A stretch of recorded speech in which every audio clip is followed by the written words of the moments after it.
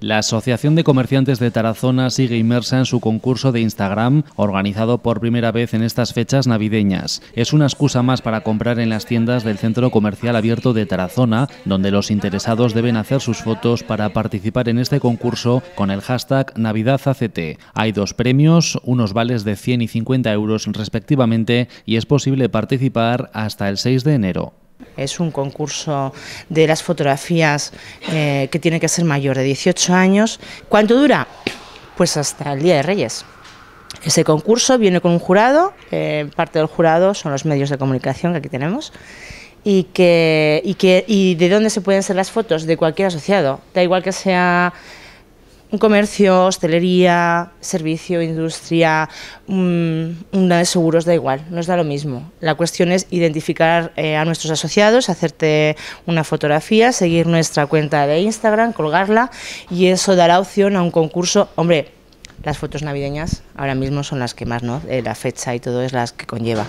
Además, está todo preparado para la campaña Un regalo ACT bajo el brazo, que premiará al primer bebé nacido en 2018 que sea el primero en inscribirse en el registro de la ciudad. De momento no hay constancia de ningún registro. En esta ocasión son 24 los establecimientos que se han adherido a la campaña y su aportación es un vale de 20 euros, que la familia ganadora podrá gastar comprando en los establecimientos lo que necesite, pues para el acontecimiento del nacimiento del bebé. El premio recaerá en la familia que haya tenido un bebé en el año 2018 y sea el primero que se registre en los juzgados de Tarazona como una de las condiciones que está registrada en las bases es que por lo menos uno de los dos, el padre o la madre del bebé, esté empadronado en Tarazona. El aceptar las bases pues requiere también participar en la promoción de la campaña. Si, por ejemplo, los padres del bebé no están de acuerdo en participar en esta promoción, porque ello conlleva pues ceder las imágenes del niño, incluso ellos y atender a los medios, pues puede rechazar el premio. Entonces, en esta ocasión recaería en el próximo bebé que fuera registrado y que los padres sí que estuvieran de acuerdo en las bases. O sea que se puede rechazar el premio, digamos.